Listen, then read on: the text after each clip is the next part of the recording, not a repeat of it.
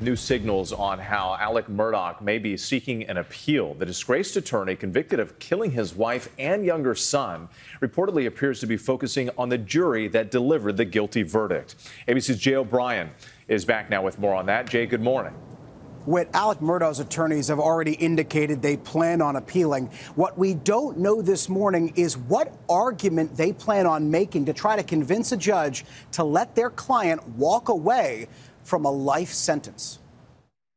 This morning, ABC News has learned the defense team for Alex Murdaugh, the disgraced former South Carolina attorney found guilty of murdering his wife and son, will hold a press conference this Tuesday about their plans to appeal that conviction. Mr. Murdaugh, I sentence you to the State Department of Corrections on each of the murder indictments in March, Murdaugh was convicted of shooting and killing his wife Maggie and youngest son Paul.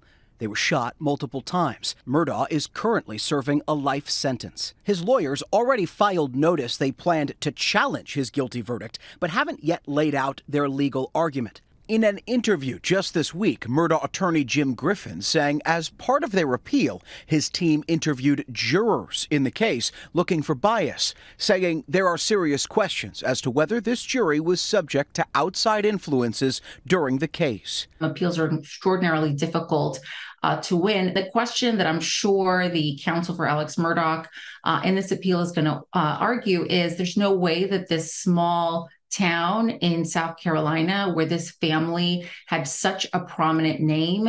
Uh, there wasn't a person in the area that didn't know the Murdaugh name. Similar claims about an allegedly tainted jury were made by Murdaugh's eldest son, Buster, in a new Fox Nation docuseries, The Fall of the House of Murdaugh. It's an absolutely excruciatingly difficult experience. Breaking his silence, Buster also saying he doesn't think his dad killed his mother and brother, but adding he believes his father has some psychopathic qualities. I'm not prepared to sit here and say that it encompasses him as a whole, but certainly I think there are characteristics where you look at the manipulation and the lies and the carrying out of that such, and I, I think that's a fair assessment.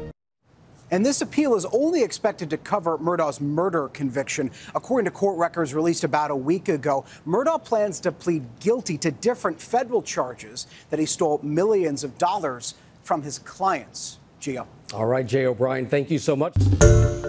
Hi, everyone. George Stephanopoulos here. Thanks for checking out the ABC News YouTube channel. If you'd like to get more videos, show highlights, and watch live event coverage, click on the right over here to subscribe to our channel. And don't forget to download the ABC News app for breaking news alerts. Thanks for watching.